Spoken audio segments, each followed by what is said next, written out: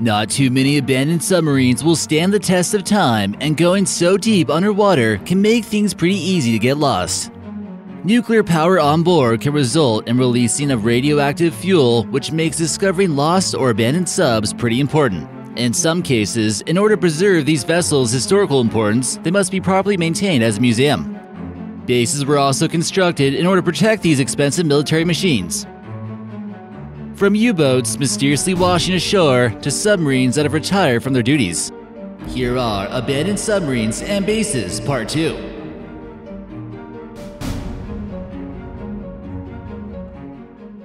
But first, quick shout out goes to James Keenan for leaving us this comment on our sniper rifles video. Thanks for sticking around until the end of the video. That certainly seemed like a crazy shot that Canadian guy pulled off.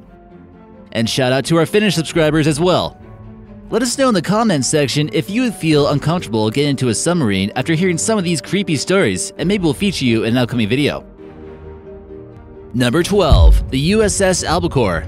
The USS Albacore was originally designed as an experimental research submarine for the Navy to test out a few features that are used in today's submarines. This makes it a stepping stone to modern day submarines, which features extensive hydrodynamic and wind tunneling in order to increase speed and maneuverability. It measures 204 feet in length and could displace 3,000 tons. The project was top secret and eventually launched in 1953. Modifications to it were made throughout the period of nearly two decades, Eventually, it ran on nuclear power, which resulted in the USS Nautilus, which was the world's first fully operational nuclear sub. The USS Albacore was decommissioned in 1972, serving a role as a reserve, then turned into a museum in Portsmouth Naval Shipyard of Kittery, Maine. Visitors are encouraged to check out the interior of the submarine and try to imagine being one of the crew members back in the Cold War. Number 11, the Aluminaut. Operating as the world's first aluminum submarine, this 80 ton vessel was a part of a deep sea research project built by Reynolds Metal Company. The private company that was contracted to build it was trying to promote the usage of aluminum. It's known to have served an important role of recovering lost atomic weapons during the Palomares incident. When this happened, not one, but four hydrogen bombs went missing in 1966 over the coast of Spain. It appeared as though a few planes made contact at this moment, taking the lives of three out of seven crew members. One of the four hydrogen bombs on board exploded due to the contact upon impact, but it didn't set off a nuclear reaction. The Aluminaut did its job and located at least one of those 1.5 thermonuclear weapons about 3,000 feet below water. It's no longer in operation, but it might get asked to do a job if it really needs to. Number 10. Kleins U-Boot Seehund also known as the Seal in English, the Seehund was created during World War II by the Germans and is known for sinking various merchant ships. The Seehund was constructed from 1944 to 1945 and 285 total were built. 35 of those were destroyed or lost, and the origins began with the salvage of British X-class submarines that we mentioned in our first abandoned submarines and bases video. Due to its smaller size, it was designed to be able to get past anti submarine nets and place explosives below the ships. They were fitted with two G 7E torpedoes, which were designed originally for U boats. During the first operation, 18 Seehunds were sent out to sea, but they encountered a vicious storm, which resulted in 15 of them being lost or destroyed. Eventually, they were able to sink a large freighter off the coast of Great Yarmouth. After all the fighting was over, many were discovered by the Allies, and several are on display in museums in France, Great Britain, and in the United States. Number 9. The HA 19 Japanese Midget and Torpedo Subs. Japanese submarines were quite fast compared to the German Seehund, and the HA 19 was able to hit a high speed of 26 miles an hour when surfaced and 22 miles an hour underwater. They consisted of two man crews and were about 78 feet in length.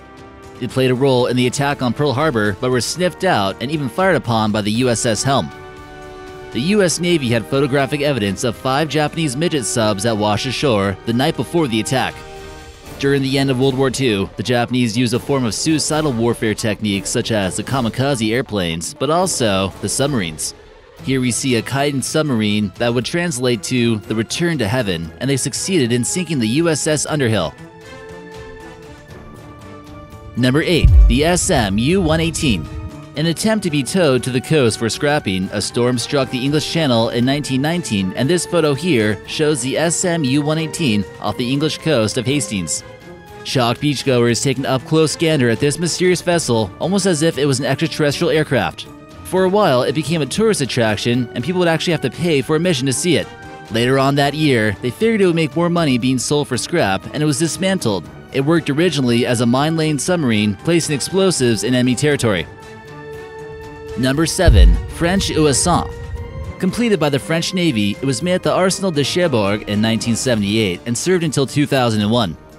It was a part of the Augusta class diesel electric fast attack submarine and ranged in length between 219 feet to 249 feet.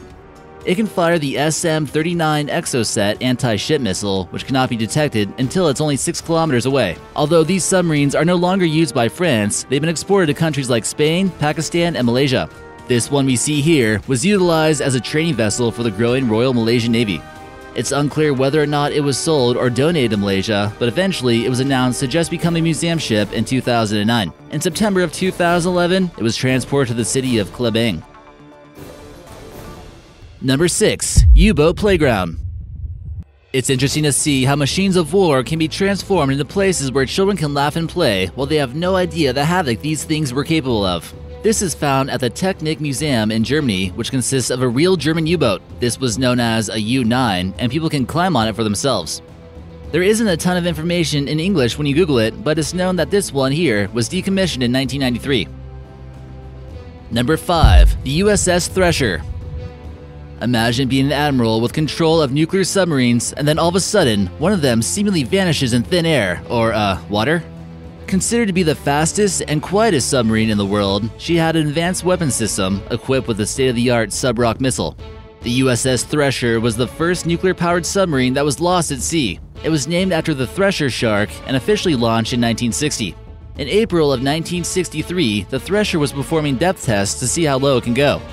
At around 400 feet, the ship was checked for any kind of leaks, so it didn't seem to be a problem.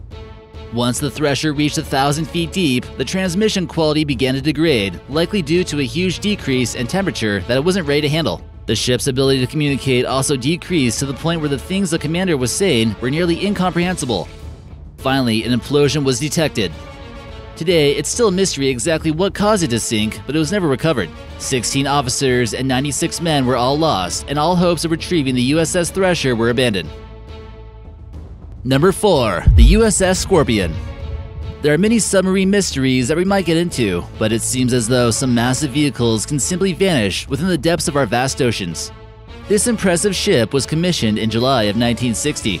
After a routine extended training operation, the Scorpion never returned to the shipyard on the day it was supposed to, and it simply vanished. A crew of 99 seamen who boarded on the first nuclear subs were somewhere in the Atlantic Ocean, and all communications were lost. Once they realized that no one was responding for 10 days, the Navy assumed they were all casualties. A few months go by, and the ship was discovered, largely intact, 10,000 feet below the surface. In 1993, the Navy declassified information about their stories of events. The Navy claims an electrical error caused them to launch a torpedo at themselves, as strange as it sounds. People who were previously on the submarine feel as though this is a false narrative released by the Navy official. Private investigators claim that there was a serious lack of maintenance on the ship, Number 3. The INS Dakar. Another mysterious disappearance of an important submarine took place with the INS Dakar, which was a British T class submarine that was purchased by Israel in 1965. Three years later, in 1968, en route to the home country in the Mediterranean Sea, the ship lost communications with other ships, with the final check in being just off the coast of the island of Crete. Israel had searched for the lost submarine for four days before temporarily calling off the search. Had originally denied that the submarine was lost in order to not anger hostile neighbors in the region. Once the heat was turned up a little bit and people were asking too many questions, they said that the sub sank due to mechanical issues, but the truth was, Egypt had actually opened fire on it. Number 2. Soviet Foxtrot San Diego. What the heck is a Soviet attack submarine doing on display at a maritime museum in San Diego? These are some of the Soviets' largest non nuclear submarines and often followed and stalked U.S. submarines and other warships throughout the North Pacific and Arctic Oceans. A close call took place in the Sea of Japan and a tense moment when it was only 500 meters away from a U.S. frigate. Originally, this thing was sold to Finland after the Cold War was over as a museum. Then it was sold to Vancouver, then to Seattle, before getting to San Diego, California. During one point in time, it was going to be sunk to be used as an artificial reef, but public outcry to keep it got to be too much, and they kept it after all. Number 1. St. Nazaire Submarine Base Located in southwestern France, a large fortified base was constructed by the Germans at the end of the Second World War as one of the largest harbors on the Atlantic coast of France. U-boat operations would begin from this base almost immediately after it was completed in 1940. The base was 300 meters long, 130 meters wide, and 18 meters high in order to accommodate and protect Germany's valuable equipment. Much of it was reinforced with concrete and granite to prevent it from being victims of Allied bombing raids. Anti aircraft guns, machine guns, and mortars were also placed here to make it a formidable fortification. So, which one did you think was the most interesting? Let us know in the comments section, and we'll see you next time.